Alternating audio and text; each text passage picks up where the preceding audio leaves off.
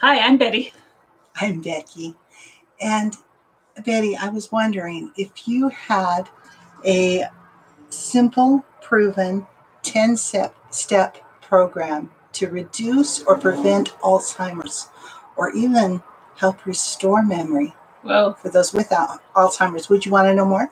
I would definitely want to know more. Okay. Now, I want something, if I was looking for something, I would want something individualized because I find out the one size fits all doesn't really work. No, there's there's too much variance between people, even you and I. Yeah. Even and though we're and twins. we're twins. Seven years apart. Seven years apart. Y'all get to guess who's the older one.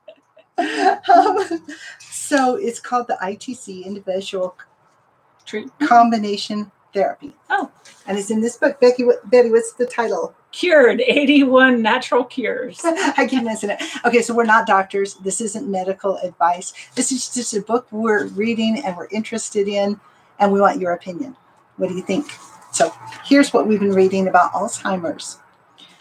Uh, there's researchers have identified 36 deficiencies, sources of inflammation, and hormonal imbalances that all play a part in decreasing mental function.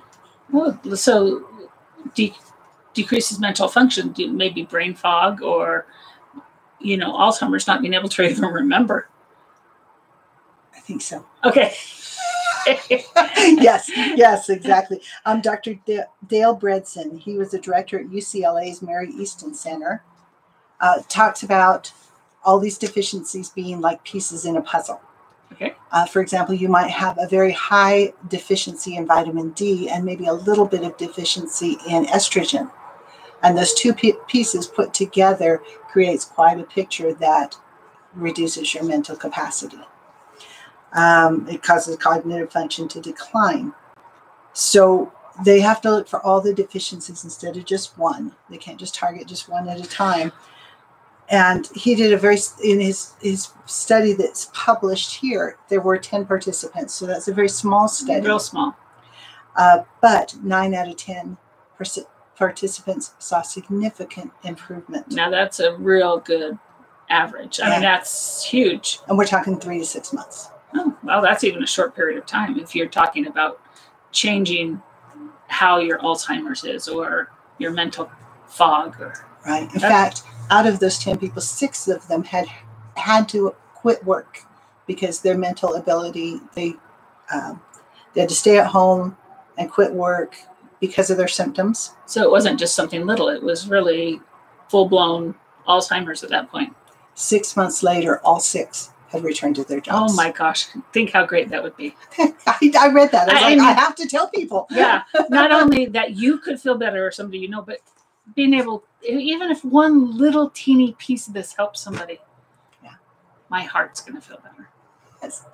And, you know, it's not just brain frog. frog. Frog. It's not just brain frog.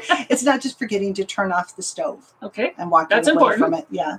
And but actually people with Alzheimer's continue to deteriorate until they need full-time care. Yeah, yeah. Because you can't even let them go out of the house alone because they may not find their way home. Yeah. And it's considered a death sentence, a third highest Wow. killer in the United States, um, showing that promising results. I'm excited. I, I'm excited to hear. Okay, so we're gonna, but we've already talked long enough. We're going to tell you more in the next video. So Okay. watch for us later. Take care. Bye.